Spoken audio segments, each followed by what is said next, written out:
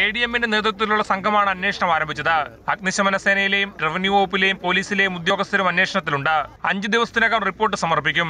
കുന്നു നികത്തിയ മണ്ണായിരുന്നു പ്രദേശത്തുണ്ടായിരുന്നത്. ജോലി ചെയ്യുന്നതിനുള്ള ബുദ്ധിമുട്ട് തൊഴിലാളികൾ കോൺട്രാക്ടറെ അറിയിച്ചിരുന്നു.